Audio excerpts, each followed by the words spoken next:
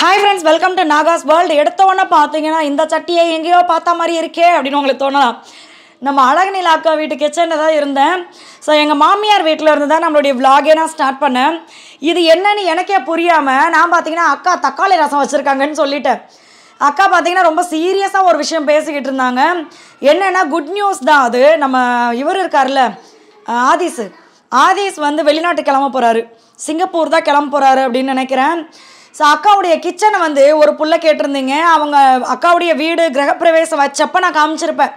அதுக்கப்புறம் திருப்பி கட்ட போகிறாங்க அப்படின்னு சொல்லியிருந்தேன். அதுக்கப்புறம் எப்படி அப்படின்னு சொல்லிட்டு எப்போ வச்சுருந்தாங்களோ அப்படி தான் ஆனால் ஒரு சின்ன மாற்றம் வந்து அடு அடுப்பு வைக்கிற இடத்துல பண்ணியிருந்தாங்க. ஸோ மற்றது எல்லாமே பார்த்தீங்கன்னா இப்போதைக்கு இப்படி தான் அரேஞ்ச் பண்ணியிருக்காங்க. ஏன் அப்படின்னா அந்த அடு கிச்சன் இருக்கிற இடம் வந்து பெட்ரூமாக வரப்போகுது. கிச்சன் வந்து இன்னொரு பக்கத்தில் இருக்குது. சரி அதை எல்லாமே ரெடி பண்ணதுக்கப்புறம் உங்ககிட்ட டீட்டெயிலாக காட்டலாமே அப்படின்னு சொல்லி இது பார்த்தீங்கன்னா வீட்டுக்கு பின்னாடி பாத்திரம் தேய்க்கிற இடம். எவ்வளோ க்ளீனாக வச்சுருக்காங்க பாருங்களேன். எனக்கு இது ரொம்ப பிடிக்கும். நம்ம என்னதான் சிங்க்கு கிட்ட நின்று பாத்திரம் தேய்ச்சாலும் அந்த கீழே குத்த வச்சு உட்காந்து தேய்க்கும் போது பார்த்தீங்கன்னா அது என்னவோ எனக்கு வந்து ரொம்ப ரிலாக்ஸாக ஃபீல் ஆகுற மாதிரி இருக்குது எங்கள் மாமியார் வீட்டிலலாம் பாத்திரம் தேய்ச்சிருக்கேன். அது வந்து ரொம்ப ரிலாக்ஸாக இருக்கும். இது பார்த்தீங்கன்னா ப- அது என்னது? பலாப்பழம். பலாப்பழம் வந்து விதை போட்டு வளர்ந்துருக்குது. அது வளர்ந்து அதில் பலாக்காய் வந்து நம்ம சாப்பிட்றதுக்குள்ளே பல வருடங்கள் ஆகும் அது ஸோ இப்போ தான் போய் அக்கா கிட்ட கேட்டுக்கிட்டு இருந்தேன். அக்கா உண்மையை சொல்லுங்கள் இது தக்காளி ரசமானு நானே மிளகா தனியாக இல்லாமல் குழம்பு வச்சுக்கிட்டு இருக்கேன் அப்படின்னாங்க. அப்புறமா தான் தெளிவாக சொன்னாங்க. காய்கறி இதெல்லாம் போடாமல் அவசரத்துக்கு வைக்கிற வெங்காயம் பூண்டு குழம்பு.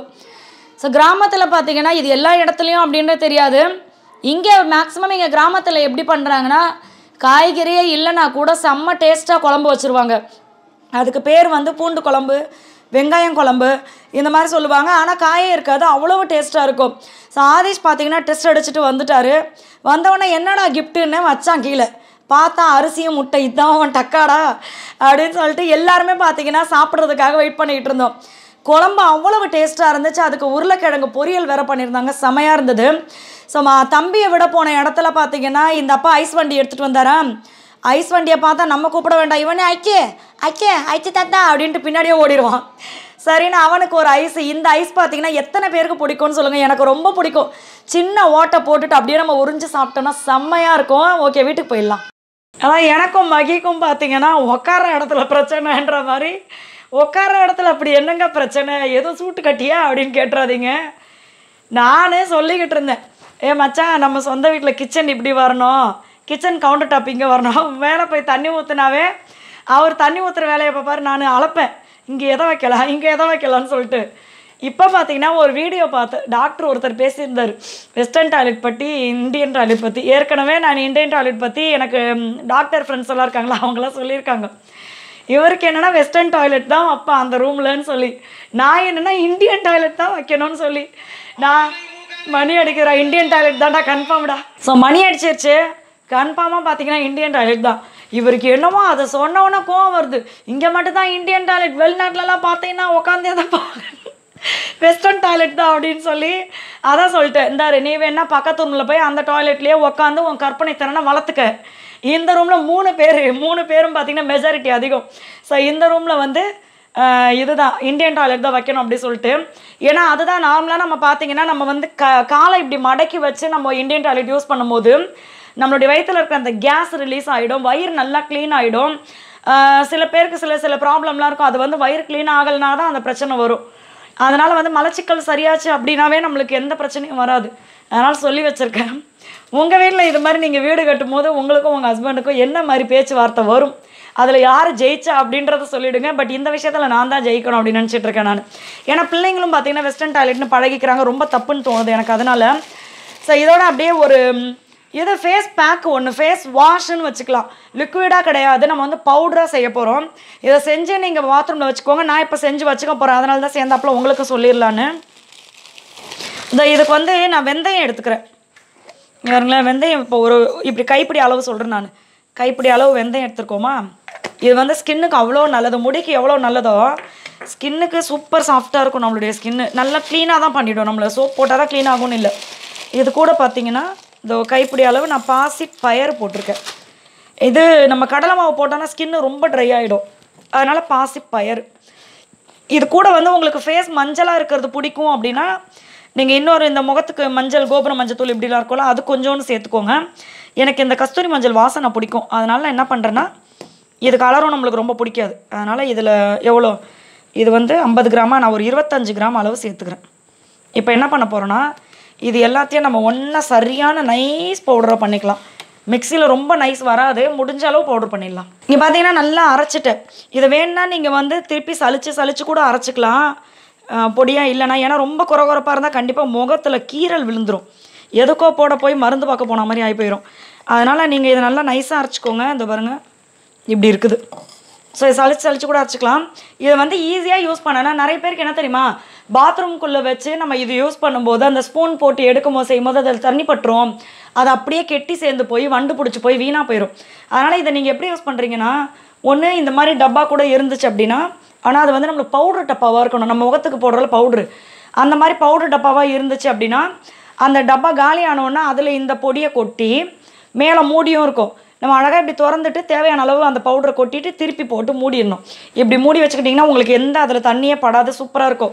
ஸோ இது எப்படி யூஸ் பண்ணணும்னு சொல்கிறேன் நல்ல தயிர் இருந்துச்சுன்னா தயிரில் கலந்துக்கோங்க இல்லை பாலில் கலந்துக்கோங்க இல்லை பன்னீரில் கலந்துக்கோங்க. அப்படி இல்லை மறந்து போயிட்டேன்னா கொஞ்சோண்டு வெறும் தண்ணி எடுத்து நல்லா குழச்சி ஃபேஸ் ஃபுல்லாக அப்ளை பண்ணிவிட்டு நீங்கள் உடம்புக்கு ஃபுல்லாக இது தேய்ச்சி குளிக்கலாம். வேறு எந்த குளியல் பொடியும் வேண்டாம் இதுவே போதும். உடம்புக்கு ஃபுல்லாக குளிக்கலாம். இல்லை இது வந்து எனக்கு அதிகமாக இது வேஸ்ட்டாக அதாவது என்ன சொல்கிறது அவ்வளோ சீக்கிரம் சீக்கிரமாக தீர்ந்து போயிடுது. உடம்புக்கு ஃபுல்லாக என்னால் டெய்லிலாம் யூஸ் பண்ண முடியாது அப்படின்னா உடம்பு வரைக்கும் நீங்கள் சோப்பெல்லாம் போட்டு குளிச்சுக்கோங்க. ஃபேஸ்க்கு கழுத்துக்கு காது பின்னாடி இந்த மாதிரி இந்த ஏரியாலாம் நல்லா நீங்கள் வந்து இது மாதிரி ஃபேஸ் பேக் போட்டு நல்லா டெய்லியுமே இதை யூஸ் பண்ணலாம். நல்லா சாஃப்டாக இருந்துச்சுன்னா டெய்லி யூஸ் பண்ணலாம். ஸ்கின் வந்து கண்டிப்பாக உங்களுக்கு அந்த கருப்பு கருப்பாக இருக்கிறதெல்லாம் மறைஞ்சு போயிட்டு கருவளையம் மறைஞ்சு ஸ்கின்னில் வந்து டேன் ஆகிடுச்சுன்னா அது சரியாயிட்டு இது மாதிரி நிறைய பெனிஃபிட்ஸ் இருக்குது இதில். வேணா நீங்கள் கூட உங்களுக்கு செட் ஆகும். அப்படின்னா தண்ணி ஊற்றி கூட கொஞ்சம் லெமன் ஜூஸ் பிழிஞ்சு அதை ஃபேஸ் பேக்காக போடுங்க. இன்னும் கொஞ்சம் டே இந்த இது வெயில்னால ஆன டேன்லாம் சரியாகும். ஸோ இது வந்து நான் அரைச்சி வச்சுக்கிட்டேன். இனிமேல் பாப்பாவை வந்து நான் அப்பப்போ பச்சரிசி அரைச்சி வைப்பேன் ரேஷன் அரிசி. இப்போ இங்கே வந்து பச்சரிசியாக நம்மளுக்கு கிடைக்கல. அதனால் அப்பப்போ இந்த மாதிரி ஏதாவது ஒன்று அரைச்சி பாப்பாவுக்கு பழக்கப்படுத்துகிறேன் அதனால் இப்போ இதை நான் வைக்க போகிறேன் இதை தான் எப்போவுமே நான் பாப்பாவுக்கு கொடுக்கவும் போகிறேன் நீங்கள் வந்து கிழங்கு மஞ்சள் இல்லை கஸ்தூரி மஞ்சள் இந்த மாதிரி கட்டையாக விற்கிதுல அதை கூட வாங்கி சேர்த்துக்கலாம். இப்போ பார்த்தீங்கன்னா நாங்கள் கட்டி வச்சிருக்கிறவருக்கு வந்து வயிற்று வலினால எங்கள் மாமியார் வெந்தய கஞ்சி வச்சு கொடுக்க சொன்னாங்க. வெந்தய கஞ்சி வந்து எப்படின்னு அம்மா சொன்னாங்க. அதன்படி நான் செய்கிறேன் பச்சரிசி தான் போடணுன்னாங்க அதனால் இதில் ஒரு கப் பச்சரிசி எடுத்திருக்கேன்.